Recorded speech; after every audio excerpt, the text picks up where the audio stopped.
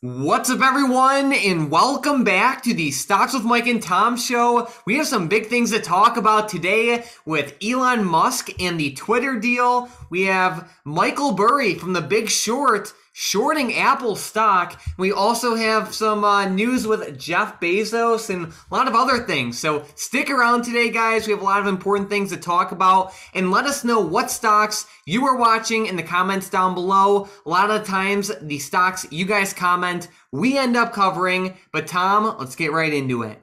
Yeah, my Twitter stock was down 8% today on a pretty bad no- on a pretty bad note here and I should say a lot of other stocks were doing pretty good this morning and Twitter was really like underperforming. So they were falling down in a big way and Elon Musk has been getting in a spat with the with the Twitter CEO right here today. He's been also saying that a lower price deal is not out of the question. Bloomberg reported today and that is huge because as we heard Hindenburg came out with a nice report over the past week or so, actually on May 9th here, and they said that Musk holds all the cards, and they saw a big uh, a big chance that the Twitter deal could get repriced lower. And ever since that Hindenburg report, Twitter stock has been all over the place. You can see how they really tanked down there um, a couple days after that report. And then overall, Mike, as we know, there's just been a lot of bad news lately revolving around Twitter. Musk has been saying that there's been a lot of uh, spam accounts on there and that, that the deal is on hold until they figure out how many accounts are spam accounts. And he says he's estimating that there's up to at least 20% of all users are spam accounts. So that sounds pretty bad, Mike. And I don't know what's going to end up happening with this deal, but who knows? It might get repriced lower now. Yeah, we'll see. I mean, talk about a crazy year so far, Tom. Stocks are sinking the Twitter Elon Musk deal might not go through, and Elon's definitely beefing pretty hard uh, about these uh, spam accounts. Yeah, he definitely is. Like, look at what he said here. So, the Twitter CEO said, unfortunately, we don't believe that this specific estimation can be performed externally, given the critical need to use both public and private information which we can't share. And they just go on with some more stuff there. And Elon Musk puts actually the poop emoji here, believe it or not. So it's kind of funny. You know, this is reported straight from Wall Street Journal. They uh they set it up there in the title themselves. So it's uh, it's pretty crazy, Mike. I can't believe everything that's going on right now with Twitter. Um, and their stock is all over the place. You know, it's honestly falling down quite a bit. I would have never expected it to be at $37 ever since uh, you know, Elon said he'd buy it at 54.20. I mean, even if it gets repriced repriced lower, I don't think it'd be down to 37. But man, it's just it's causing a lot of volatility here. Yeah, so here's the thing, Tom. Just like you said, like if the deal goes through in its current state, that is one giant spread. Like you can buy right now Twitter shares for $37 and like 40 cents. And if the deal goes through, you'll get bought out for $54.20, which is around a 45% premium, which is pretty dang good. But here's the thing if you buy now and the deal does get repriced, or if it doesn't go through at all, Twitter stock might fall down to like 25 or 20 or maybe even lower. Yeah, it really could. And looking at the chart here, I mean, it's been falling off the table in a big way. And what I think is really important to look at here, Mike, is look at that implied volatility. It went from lows down here of like 31% or like 32%. Now we're all the way back up to 84% because I think people are starting to think that the deal won't happen. Whenever they thought the deal was going to happen, the IV started falling down a lot because they just thought Twitter stock would be stagnant and not really move too much. But now that's not the case. That IV is really showing itself here and coming right back up. And Mike, I know it wasn't just Twitter and Elon Musk having spats today. I know Amazon was having some pretty bad spats with the White House, actually. Uh, Jeff Bezos was talking a lot about them with inflation and stuff like that. And it was getting kind of brutal. You know, you can see there's a pretty nice article here um, on CNBC, and he pretty much uh, Jeff Bezos said a whole bunch of stuff. He criticized Biden for passing the 1.9 trillion dollar American Rescue Plan, and also he's pretty much saying that Biden is just trying to blame corporations and stuff like that for the inflation. But the main thing is that a lot of these, a lot of stuff that the government's been doing is honestly the main cause for the inflation. So it's pretty funny to see Jeff Bezos doing this, Mike. He's he's hitting pretty hard actually at uh at the White House here, and I mean, man, he's been going off on Twitter all day. Yeah, no doubt about that. Um, what I also want to talk about, Tom, is this short on Apple from Michael Burry. So, for those of you who don't know, Michael Burry is the guy behind the movie The Big Short. He uh, made a ton of money by calling the housing crash in like 2008 and 2009. We can see that now he is short Apple through the form of put options, and he is long Google, Facebook, and Discovery. So, I thought this was interesting and I wanted to cover it.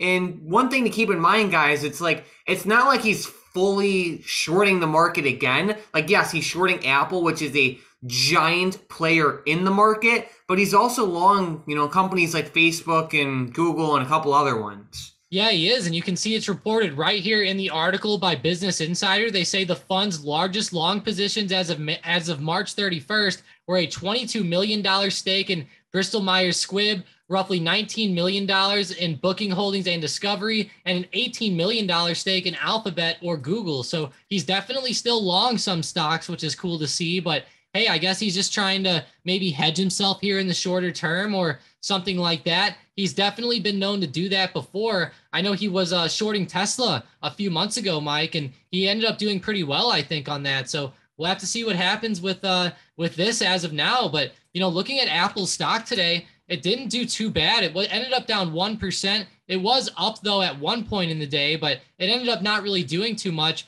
I'm curious to see if Apple will keep falling here, Mike, because honestly, Apple stock is at a huge support right around 140. And if we keep breaking this to the downside, I think we could see a bigger move.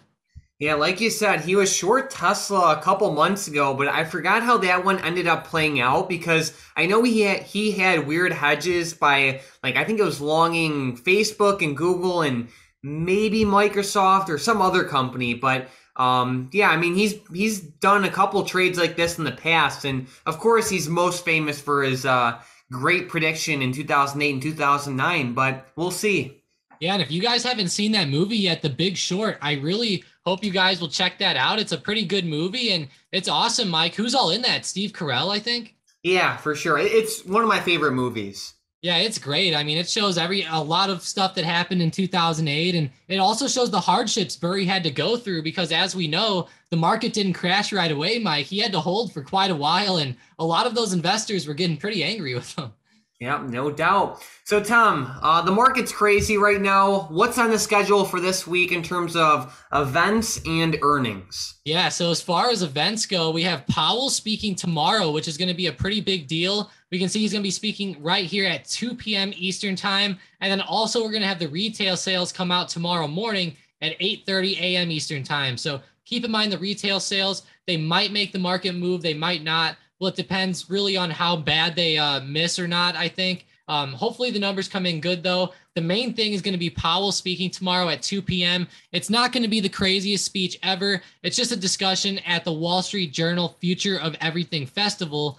So it's nothing like the FOMC meeting or anything like that, but it's definitely still a big event. And who knows, you know, if he ends up having some hawkish statements or something like that, it could really uh, cause some volatility here in the market. And the SPY did pretty well today. You know, it held up decently well. It did close down red, but it was up for uh, for a lot of the day, Mike. It did pretty decent, but in the end, it ended up pulling back. And you know, it's not a uh, it's not too uh, it's not setting up too bearish yet for tomorrow, but hopefully Powell doesn't change it. Yeah. And then Tom, what's on this earnings schedule?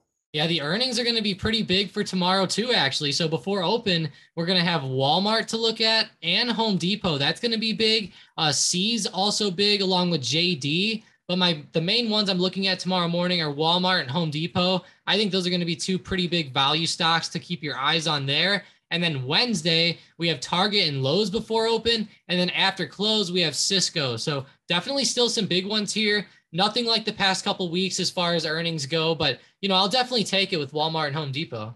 Yeah, it's a big week for like retail. Walmart, Home Depot, Lowe's, Target, um, Kohl's. Um, big week for retail, I guess we'll say. Even uh, where's the other one I just saw? Uh, Bath and Body Works. Yeah, so they report as well. Um, either way, nothing too crazy in terms of earnings, but keep it on your radar. Uh, but Tom, let's get right into the momentum plays for tomorrow. And with the first one, we have NIO to the upside. Yeah, good old NIO here. These China stocks did pretty well today. Go ahead and make NIO break above $15 even. Alrighty, and with the next one, we have Baidu also to the upside. Yeah, another China stock. Go ahead and make them break above 120. Alrighty, and with the last one, we have Redfin, but to the downside.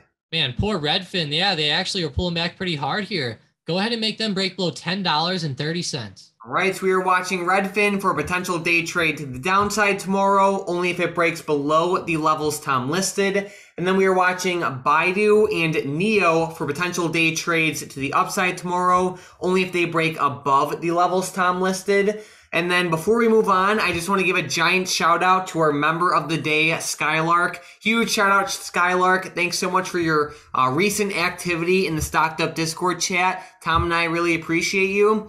But Tom, do you have any favorite setups heading into tomorrow?